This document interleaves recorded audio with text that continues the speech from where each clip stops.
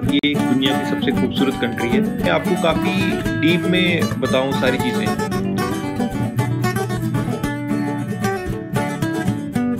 तीसरी कार जो है वो यहाँ लेम्बोर्गिनी है या फरारी है कोई ना कोई सुपर कार ही है। मास्क किसी ने नहीं लगा रखा। हेलो गाइस उम्मीद करता हूँ आप सब अच्छे होंगे। और मेरे को इंस्टाग्राम में काफ़ी लोग पूछ रहे थे कि मेरी अगली डेस्टिनेशन कौन सी होगी। तो फाइनली मैं अपनी अगली डेस्टिनेशन में आ गया हूँ। और ये एक दुनिया की सबसे खूबसूरत कंट्री है। वैसे तो आपने नीचे टाइटल में पढ़ ही लिया होगा मैं कौन सी कंट्री में आया हूँ। लेकिन फिर भी अगर आपने नहीं पढ़ा तो मैं हूँ स्विट्ज़रलैंड में और इस वक्त मैं हूँ जूरिक में। और यहाँ पे मैं काफ़ी टाइम स्पेंड करने वाला हूँ। और मैं कोशिश करूँगा कि इस सीरीज़ में, इन वीडियोस में जो आने वाली वीडियोस हैं या जो आज की वीडियो है, इसमें आपको काफ़ी डीप में बताऊँ सारी चीज़ें। क्योंकि मैंने भी थोड़ा रिसर्च किया यहाँ आने से पहले, लेकिन मेरे को कोई ऐसी वीडियो मिली नहीं जिसमें कि मेरे को बहुत ज़्यादा डिटेल में चीज़ें पता लग रही हों और एक ही वीडियो में सारी इन्फॉर्मेशन मिल रही हो। लाइक वीज़ा के रिगार्डिंग इन्फॉर्मेशन इमिग्रेशन के रिगार्डिंग इन्फॉर्मेशन सिम के रिगार्डिंग इन्फॉर्मेशन और यहाँ पे क्या क्या देखने का है क्या क्या घूमने का है। मैं वो सारी चीज़ें कवर करूँगा धीरे धीरे करके छोटे से एग्जांपल के लिए मैं जब वीज़ा अप्लाई कर रहा था तो मैंने काफ़ी सर्च किया। सब लोग बोल रहे थे कि हाँ वीज़ा है ऑनलाइन फॉर्म फिल करना है वीएफएस के पास जाना है डॉक्यूमेंट सबमिट करने हैं। बट कहाँ से स्टार्ट करूँ मेरे को वो पता नहीं पर, चल पा रहा था किसी भी वीडियो से। तो वो सब चीज़ें मैं क्लियर करूँगा कि आपको कहाँ से स्टार्ट करना है फ़र्स्ट स्टेप क्या लेना है आपको वो सब चीज़ें धीरे धीरे करके मैं आज की वीडियो में और आगे आने वाली वीडियो में क्लियर करूँगा। वैसे तो मैं अपने होटल में हूँ इस वक्त मैं आ गया था अराउंड यहाँ पे तीन बजे के आसपास यहाँ के लोकल टाइम पे। और मैं दुबई से आया था, वहाँ पे एट थर्टी की फ़्लाइट थी मॉर्निंग में।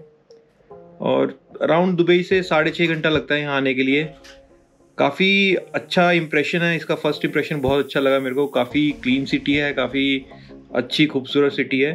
अभी तो फ़िलहाल मैं जूरिक में हूँ तो ये तो एक सिटी है।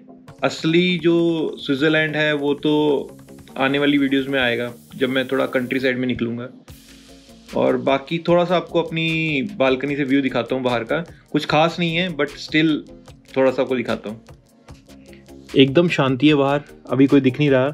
और इस वक्त हो रहा है शाम के आठ बज रहे हैं और काफ़ी ज़्यादा लाइट है बाहर। अभी बस बाहर जाने का ही सोच रहा हूँ, जाके एक सिम लेता हूँ पहले तो और वो सिम की डिटेल आपसे शेयर करूँगा। और उसके अलावा थोड़ा सा देखता हूँ आसपास क्या है। तो गाइज़ मैं पहुँच गया था अराउंड तीन बजे के आसपास जूरी के एयरपोर्ट पे। जूरी के एयरपोर्ट अराइवल जो है वो इतना बड़ा नहीं है। डिपार्चर काफ़ी बड़ा है बट जो अराइवल है वो इतना बड़ा नहीं है। छोटा सा अराइवल है। और बैगेज बेल्ट से अपना बैग लेने के बाद मैं निकल गया ट्रेन स्टेशन की तरफ़। जूरी के एयरपोर्ट पे सब जगह बोर्ड्स लगे हैं। आपको गाइड करने के लिए कि कौन सी जगह कहाँ पे है। और आपको जूरी के एयरपोर्ट के बारे में और इन्फॉर्मेशन देने के लिए ये जूरी के एयरपोर्ट का मैप है। यहाँ है टर्मिनल बिल्डिंग टर्मिनल बिल्डिंग से निकल के आपको जाना है द सर्कल द सर्कल जो है, उसे एयरपोर्ट शॉपिंग मॉल भी बोलते हैं और द सर्कल मॉल भी बोलते हैं। यहाँ से मिलेगी आपको ट्रेन और अगर आपने रेंटा कार ली है तो आपको निकल के जाना है यहाँ पे पार्किंग थ्री में। सभी रेंटल कार कंपनी जो हैं, वो पार्किंग थ्री में है। आपकी बुकिंग किसी भी रेंटल कंपनी के साथ हो, आपको पार्किंग थ्री जाना है। वहाँ से आपको रेंटा कार मिल जाएगी। और अदरवाइज़ ट्रेन के लिए मैं आपको ऑलरेडी बता चुका हूँ कि ट्रेन के लिए आपको जाना है द सर्कल में। सो so, अगर आपको जाना है ट्रेन से तो बस आपको द सर्कल या द एयरपोर्ट शॉपिंग सेंटर को फॉलो करना है। और एयरपोर्ट शॉपिंग सेंटर के अंदर घुसते ही ऊपर बोर्ड्स लगे हैं कि आपको कौन सी डायरेक्शन में जाना है ट्रेन कहाँ से मिलेगी और बाकी चीज़ें कहाँ पे हैं।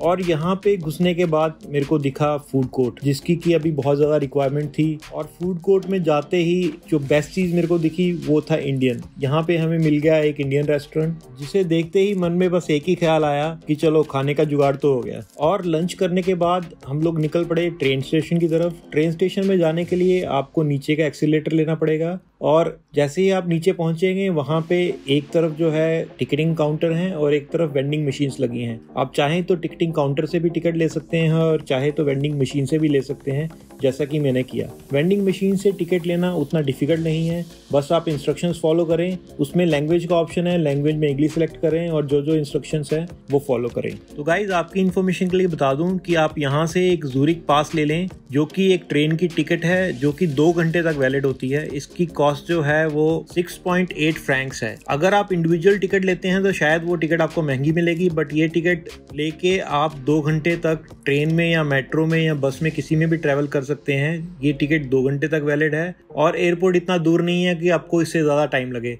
Around one and half hour से एक घंटे के बीच में आप अपने होटल पहुँच जाएँगे, अगर आपका होटल डाउनटाउन में है, या दूसरे वर्ड्स में बोले तो सिटी सेंटर में है। तो हमने भी यही टिकट ली और हम पहुँच गए एक फ्लोर और नीचे, जो कि था ट्रेन स्टेशन ट्रेन स्टेशन काफ़ी क्लीन था।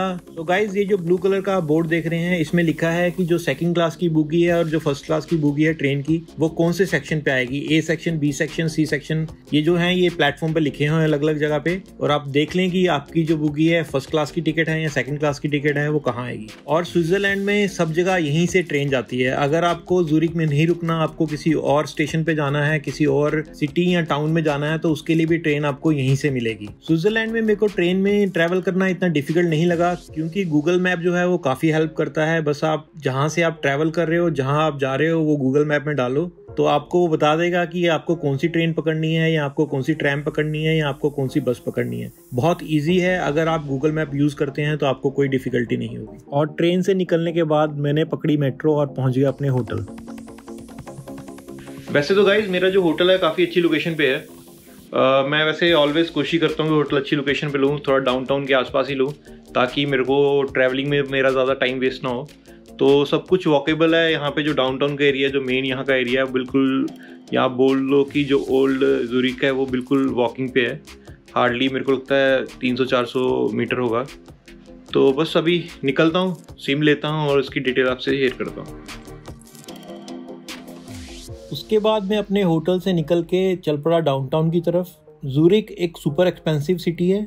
इनफैक्ट पूरा स्विट्ज़रलैंड ही काफ़ी एक्सपेंसिव है। ये क्यों एक्सपेंसिव है? उसकी शुरुआत होती है सेकेंड वर्ल्ड वॉर से।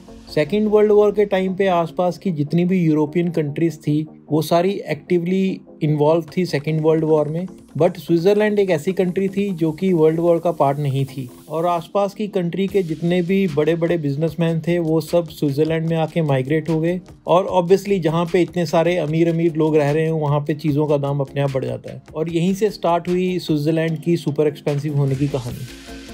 तो गाइज़ मैं अभी घूम रहा था डाउनटाउन में जूरिक में, मेरे सामने है लेक जूरिक और मेरे को दुबई में रहने के बाद लगा था कि दुबई में ही सुपर कार्स हैं, लेकिन यहाँ पे भी हर तीसरी कार जो है वो यहाँ लम्बॉर्गनी है या फरारी है, कोई ना कोई सुपर कार ही है।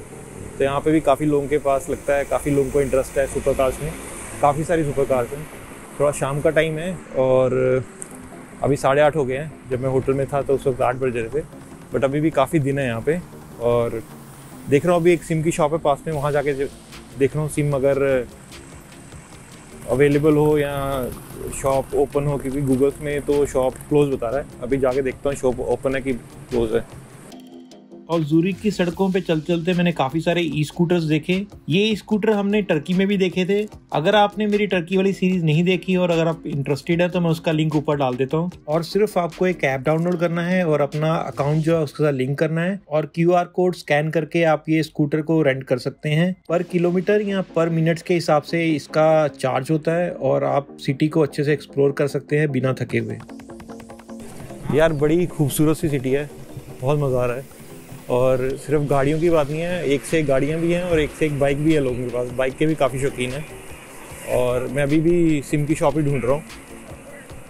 क्योंकि एक शॉप पे गया था, वो बंद थी। अभी दूसरी शॉप ट्राई कर रहा हूँ। अगर नहीं मिलेगी तो फिर कल सिम लूँगा कल थोड़ा सही टाइम पे निकलूँगा मतलब दिन के टाइम पे। अभी तो काफ़ी शाम हो गई। अभी तो बस लोग इधर उधर घूम रहे हैं चिल मार रहे हैं, खाना वाना खा रहे हैं। थोड़ा लाइट कम है, इसलिए थोड़ा अंधेरा आ रहा है। तो कल अच्छी वीडियोज़ आएँगी। अभी थोड़ा अंधेरे में एडजस्ट करो। आपकी इन्फॉर्मेशन के लिए स्विट्जरलैंड में मोस्टली सब शॉप जल्दी बंद हो जाती हैं। छह बजे के आसपास सब शॉप बंद हो जाती हैं और मॉर्निंग में 11 से 12 बजे के आसपास सारी शॉप्स दोबारा ओपन होती हैं। शाम के 6 बजे के बाद ओनली रेस्टोरेंट्स और कुछ सुपरमार्केट्स ओपन रहती हैं। सुपरमार्केट भी 8-9 बजे के आसपास सब बंद हो जाती हैं। तो अगर आपको शॉपिंग करनी है तो आप कोशिश करें कि 6 बजे से पहले सारी शॉपिंग कर लें, क्योंकि उसके बाद कुछ आपको खुला नहीं मिलेगा।